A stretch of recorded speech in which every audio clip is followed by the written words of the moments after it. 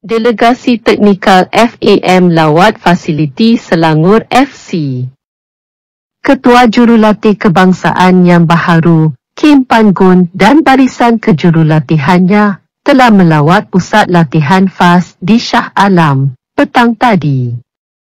DYTM Tengku Amir Shah Ibni Sultan Sharafuddin Idris Shah Raja Muda Selangor selaku pengerusi Selangor FC sendiri telah membawa panggun melihat fasiliti yang terdapat di pusat latihan kelab berkenaan.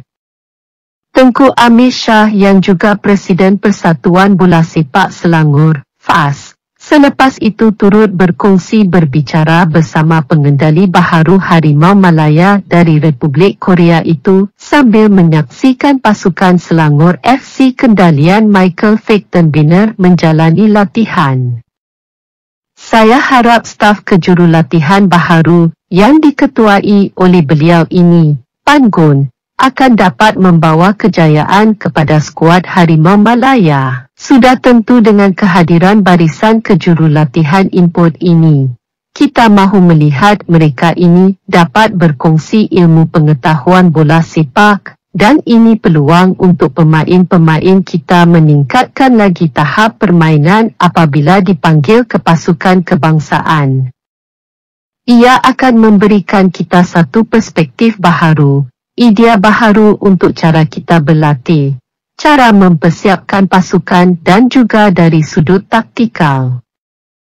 Harap prestasi pasukan kebangsaan akan lebih meningkat dan kita dapat mencapai kemenangan serta kejayaan yang lebih baik, kata Tengku Amir Shah.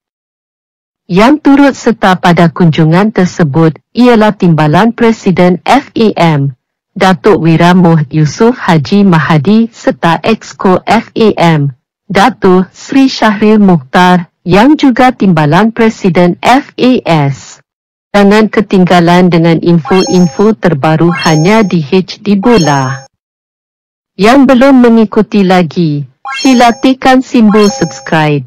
Sertakan butang loceng notifikasi untuk dapatkan info baru di sini. Klik butang suka kalau anda berkenan video ini ya. Yang sudah menekan subscribe, rajin-rajinkan tangan anda untuk mengkomen di ruang komen. Bersertakan kongsikan video ini jika ada bermanfaatnya. Itu saja, terima kasih.